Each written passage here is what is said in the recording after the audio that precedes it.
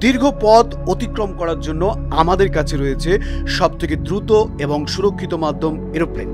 কিন্তু এখানেও বেশ কিছু সমস্যা রয়েছে। সমস্যাটা কি? এমন কিছু জায়গা রয়েছে যেখান থেকে আপনি চাইলেও প্লেনকে উড়িয়ে নিয়ে যেতে পারবেন না। পৃথিবীর বেশ কয়েকটি দেশের এমন কিছু অঞ্চল রয়েছে যেখানে রয়েছে এমনই ব্যবস্থা। সার্বিক নিরাপত্তা এবং গোপনীয়তা রক্ষার্থে নেওয়া হয়েছে এমন কিছু ব্যবস্থা। কারণ যদি কোনো কারণে বিমান দুর্ঘটনা ঘটে, সেই বিমানের পাশাপাশি এসব অঞ্চলের এত ক্ষয়ক্ষতি হবে যা এক কথায় অপূরণীয়। বন্ধুরা, আজকের ভিডিওতে এমনই কতগুলো পরিচিত অঞ্চলের কথা বলতে চলেছি, যেখান থেকে আপনি প্লেন নিয়ে যেতে চাইলে লাগবে বিশেষ অনুমতি কিংবা আপনাকে সরাসরি ফিরিয়ে দেওয়া হবে। নাম্বার ওয়ান মক্কা বা কাবা শরীফ। মুসলমানদের তীর্থস্থান মক্কার ওপর দিয়ে আপনি কখনো কোনো যাত্রীবাহী প্লেনকে উড়ে যেতে দেখবেন না। কেন সেখান দিয়ে কোনো যাত্রীবাহী প্লেন ওড়ে না, তার পিছনে অবশ্য বেশ কিছু ব্যাখ্যা রয়েছে। যদিও এর কোনো সুনির্দিষ্ট প্রমাণ বা গ্রহণযোগ্য যুক্তি নেই।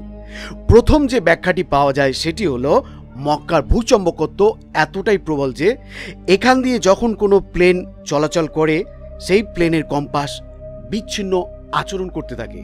সেই জন্য প্লেন চালকের পক্ষে দিক নির্ণয় করা কঠিন হয়ে পড়ে।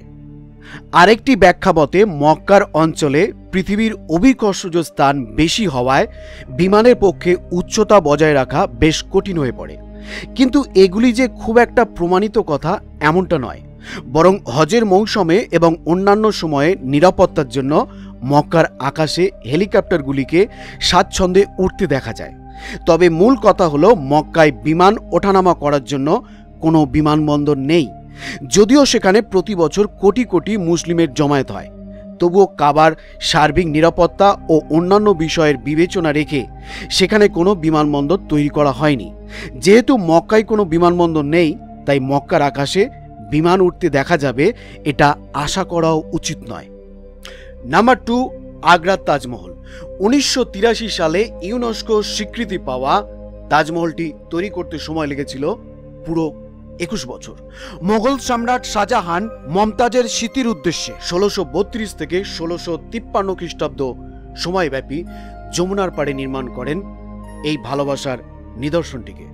বর্তমানে এই নিদর্শনটিকে টিকিয়ে রাখা এবং রক্ষণাবেক্ষণের দায়িত্ব রয়েছে ভারত সরকার। এই নিদর্শনটিকে এতটাই নিরাপত্তা বেষ্টনীর মধ্যে রাখা হয়েছে যে, সেখানকার পাঁচশো মিটারের মধ্যে কোনো যান্ত্রিক যানবাহন চলাচল করতে পারবে না। এমনকি যান্ত্রিকতার সাথে মিশে গিয়ে মূল তাজমহলের যাতে কোনো প্রকার ক্ষতি না হয়, সেই কথা মাথায় রেখে নেওয়া হয়েছে এমন ব্যবস্থা। তার চেয়ে বড় কথা হলো দু হাজার ছয় সাল থেকে তাজমহলের উপর দিয়েও বিমান চলাচল নিষিদ্ধ ঘোষণা করা হয়। আগ্রায় কোনো প্রকার বিমান দুর্ঘটনা হলে তাজমহল এবং অন্যান্য স্থাপনের উপর তার সরাসরি প্রভাব পড়বে।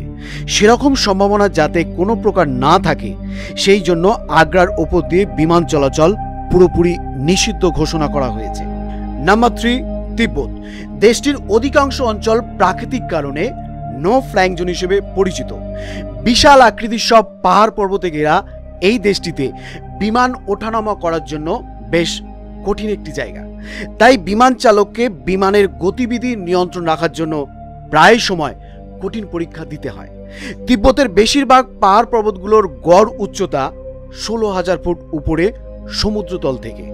আর এই উচ্চতা দিয়ে অধিকাংশ বাণিজ্যিক বিমানগুলি চলাচল করতে পারলেও জরুরি অবতরণের জন্য বিমানগুলিকে পাহাড়ে নামানো কোনোভাবেই সম্ভব হয় না। এখানে বিমান চলাচলের থেকে যাত্রীদের নিরাপত্তা দেওয়াটা অনেক বেশি জরুরি।